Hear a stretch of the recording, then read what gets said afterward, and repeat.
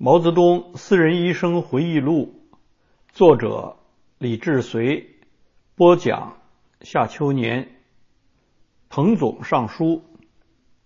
七月十日，又在山上的小礼堂内召开了全体会议。毛讲了话，他强调了党内要团结，思想要一致，问题可以讨论清楚，总路线完全正确。一年来取得的成绩非常大，缺点是有。可是与成绩相比，人不是有两只手吗？一共十个手指头，成绩是九个指头，缺点只能是一个指头。毛病指出，中国还没有准备好要进入共产主义。毛说，人民公社叫公社，按照现在公社的性质来说，可以是大合作社，或者仍然属于高级合作社范畴，这样就没有问题了。我们的问题是将人民公社看得太高。要降下来。另外，毛又强调，在进行一场全新的革命活动，要取得经验，不付点学费是不成的。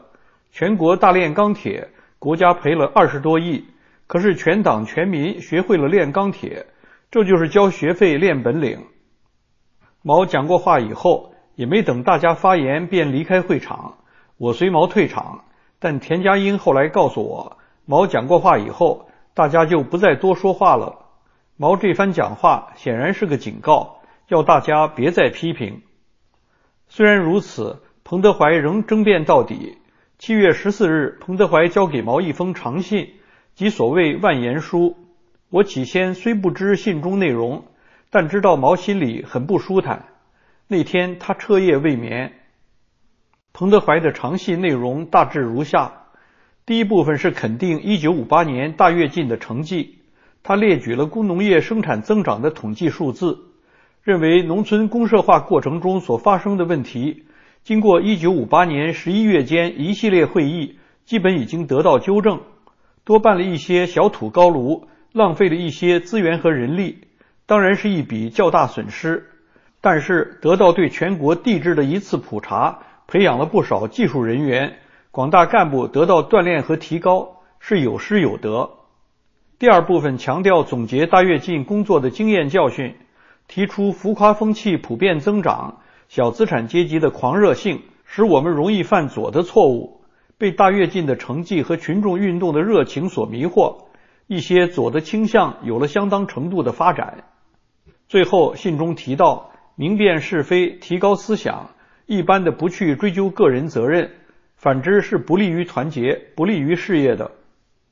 彭的信相当切实中肯，可惜彭德怀过于天真了。彭是个军人，根本不懂得政治的肮脏，而且自井冈山时期起到建国后这几十年间，毛与彭之间有不少次的意见冲突。毛一直认为彭有反骨，这封信正好激发了毛的旧恨新仇。七月十六日。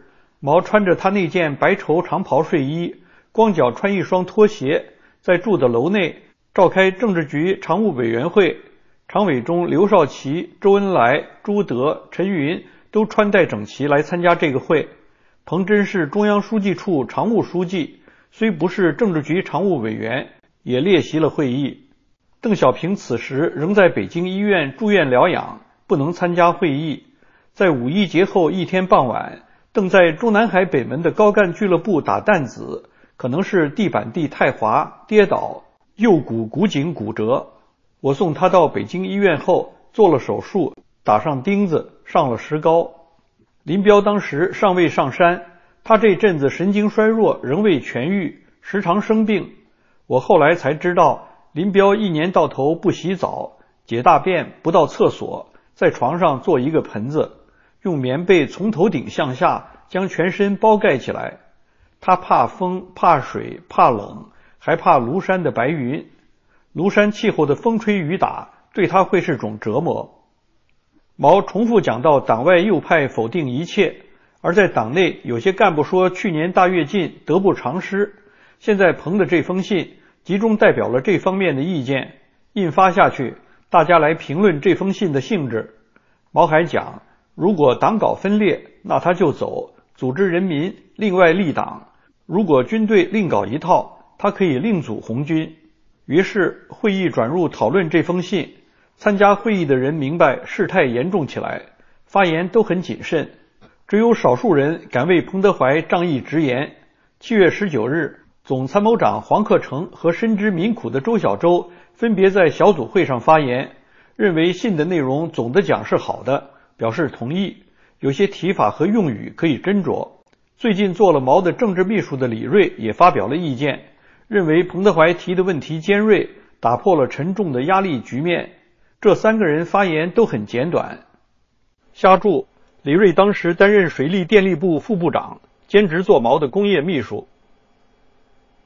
到七月二十一日，外交部常务副部长张闻天做了长篇发言，系统说明他对大跃进以来各种成绩和缺点的看法。张曾留学苏联，一九三零年初期自苏返国后，曾是王明路线下所谓二十八个半布尔什维克中的一员。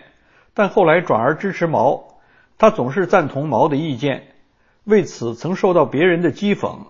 他说：“真理在谁手里，就跟谁走。”他曾任中国驻苏联大使，后任外交部常务副部长。张并且不点出名字说，有的把供给制、公共食堂等同于社会主义和共产主义，又说毛主席说的群众路线，实事求是，讲起来容易，做起来难。这等于直接说毛言行不一，又说毛主席常讲要敢提不同意见，要舍得一身剐，敢把皇帝拉下马，不要怕杀头。这些话都很对，可是谁不怕杀头？谁能不怕挨剐？这无异于指出毛压制民主那套话是说给别人听，毛不会照自己说的办。张闻天的发言还明确表示支持彭德怀的信中内容。不同意柯庆施等人对这封信的非难，又强调了民主风气很重要，要造成一种生龙活虎、心情舒畅的局面，才会有战斗力。要领导上造成一种风气环境，使得下面敢于提意见。意见书中心内容是希望总结经验，本意是很好的。张闻天是在华东组中发的言，发言中不断受到柯庆施、曾希圣。山东省委第一书记舒同等人的打断和反驳，甚至指责申斥。但要说张反对毛是不对的，因为张事后说要做比干刚强见死，不做箕子扬狂自全。瞎注，扬狂自全是说庄丰借以自保，这很明显表现出张的忠君爱国思想。七月二十三日召开全体会议，会上毛做了发言，说。现在党内党外加攻我们，党外有右派，党内也有那么一批人，要劝劝党内这部分同志，讲话的方向问题要注意，在紧急关头不要动摇。有的同志在大风大浪中就是不坚定，站不稳，有秧歌。现在又表现出资产阶级的动摇性、悲观性。他们不是右派，但是他们把他们自己抛到右派的边缘去了。不过还有三十公里。相当危险。毛又逐一批驳了彭信中指出的小资产阶级狂热性和有失有得等的论点。毛讲话以后，气氛立刻十分紧张起来。对这封信，真是群起而攻之，集中批判彭德怀等人的所谓右倾。彭坐在会场的最后一排椅子上，沉默不语。在会议之前，彭德怀曾私下去和毛谈过一次话，并当面顶了起来。后来毛告诉我，彭德怀见到我就说：“这封信是给你一个人的，你为什么印发给会议？”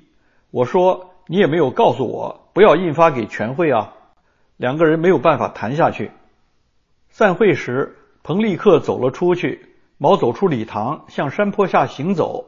这时，朋友向山坡上走过来，毛立住脚说：“彭老总，我们再谈谈。”彭红着脸。右臂在头上一甩，大声说：“现在还有什么好谈的？不谈了。”毛又说：“我们有不同的看法，还是可以交换意见嘛。”彭匆匆走过，说：“现在没有什么好谈的了。”毛决定立即召开八届八中全会。中央全会是中国最高权力机构，任何批准彭德怀的正式行动都需经由他核准。江青本来在北戴河等毛。他给毛打了长途电话以后，坐飞机赶到庐山。二十四日上午，叶子龙、王敬先和我约了汪东兴，乘车到了九江机场，将江接到山上。江神色冷峻，见到我只问了一句话：“主席身体好吗？”我将毛最近吃饭不大好的情况告诉了他，又说经过汪东兴从南昌调来了厨师，做了清蒸团鱼及鳖，这几天好多了。江青这次前来庐山，身负重大政治任务。过去江抵达一个地方，因神经衰弱，总是要睡个半天才起来。这次一反常态，庐山剑拔弩张的紧张情势使他精神大振，百病全消。江青到时。毛正酣睡未醒，江青先去看了林彪。林彪这时已到庐山，但怕冷，没有住在山上。江与林谈了两个多小时才出来。